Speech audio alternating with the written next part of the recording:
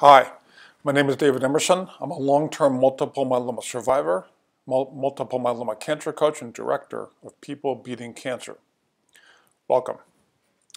Uh, the topic of this vlog post and its accompanying blog post, uh, according to the studies below, uh, is an issue uh, that I think pretty much every myeloma patient and survivor will face at some point in their lives as um, survivors.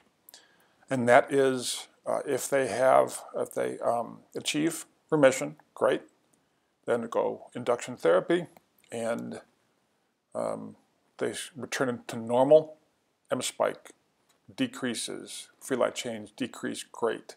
Perhaps complete remission, but doesn't have to be, could be uh, very good partial remission, partial remission, etc.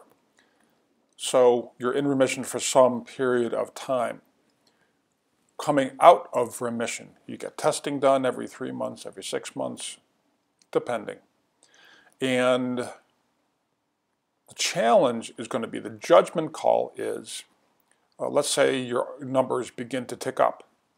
Uh, maybe your M spike has increased from uh, some form of remission and goes up uh, your free light chains increase. Yes, that's a bummer. None of us like that. We all want to be in remission and we all want to be normal. The point of the studies, um, and really uh, my view, and this is, is just my opinion, is that if there are no CRAB symptoms, and don't forget CRAB stands for calcium, C-R-A-B, calcium renal, uh, which is a uh, fancy term for a kidney, CRA, anemia, fatigue, has to do with your red and white blood cells. Um, CRAB, uh, bone health. If you have no CRAB symptoms, what do you do? My experience is that uh, conventional oncology is quick to give you more toxic chemotherapy. And while that might be the right thing to do in your case, I'm just trying to educate you, make us all aware of the notion that toxicity in and of itself causes damage.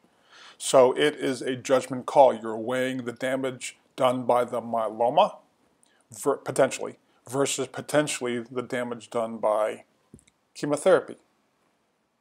All I'm saying is don't jump into it immediately. Don't rush to, into, into more chemo. So, to summarize, come out of remission, but no CRAB symptoms. What do you do? Take a deep breath. Perhaps send me an email. Ask. Look at your numbers. Are your numbers signaling anything? Think about it. Uh, it's not all is not lost just because your M spike increases from 1.2 to 1.7. No biggie. It's the damage done potentially by the myeloma compared to offset by balanced by the damage caused by chemo. That's the issue. If you have any questions, scroll down the page, uh, uh, send me a, a question or a comment. I will reply to you ASAP. In the meantime, be well, and I look forward to talking with you soon. Thanks, bye.